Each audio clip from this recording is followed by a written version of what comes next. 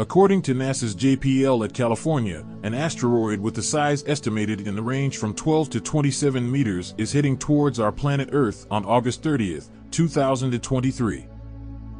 This asteroid was discovered on August 14, 2012, and has been named Asteroid 2012 PZ17. This near-Earth object belongs to the Aten group of asteroids. It makes one orbit around the Sun in 1104 days. On August 30th, at 2146 Greenwich Mean Time, it will pass past Earth at a distance of 6.43 million kilometers and at a speed of 4 kilometers per second. Scientists has confirmed that the asteroid 2012 PZ17 is not a potentially hazardous near-Earth object, and it will not collide with Earth in this close encounter.